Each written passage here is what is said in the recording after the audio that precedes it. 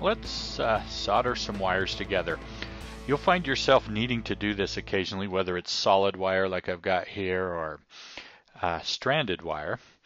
And um, let's uh, get down to business, okay? The first thing I'm going to do is uh, we want a good mechanical connection, okay?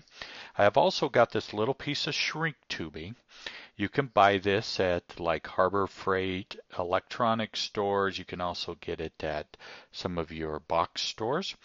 Uh, but you want this shrink wrap tubing. You can use electrical tape, but I prefer this stuff. This will go over the wire. And then once we uh, make the connection, we'll, we'll roll it back over it and we'll um, we'll uh, heat it up and it'll shrink over that and make a ins nice insulated connection. Okay, so the first thing I'm going to work on is creating a good mechanical connection with what I have. So I'm just going to twist this wire around a few times and uh, like that and make a good mechanical connection. And I want to also make sure that these wires aren't poking out. Right? We want them. We don't want them poking through that uh, that uh, heat shrink. Okay, and I'm using my helping hands. It's a nice little tool that'll hold the wire in place for us. And I've got my soldering iron and some solder. Now, I could put this on, but since I have um, the other ends are free, sometimes you forget to put this on. I can slide it on afterwards, and I'm going to do that. Okay. Otherwise, I could put it on and, and leave it right there. So what I'm going to do and I make sure my tip is clean, right? And if I need to clean my tip, put a little solder on it, douse it in my uh, wire brush, just kind of keep the tip nice and clean so it's ready to do some good soldering. Okay?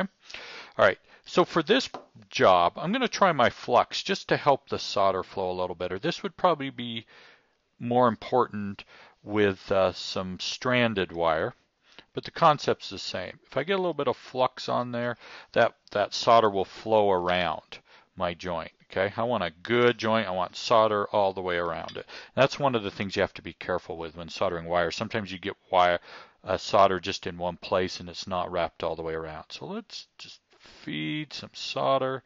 Look how nice that, because of that flux, it's just flowing everywhere. Okay, now I'm going to turn it over just turn this wire over and make sure it looks good on the other side. Well, I'm going to flow some more solder just to make a just make it a little bit better connection. Uh, it's pretty good. Uh, there's nothing wrong with that solder joint. But I'll just make it a good connection all the way across. Okay, you don't want to gob the solder, but you want a good, nice connection. All right.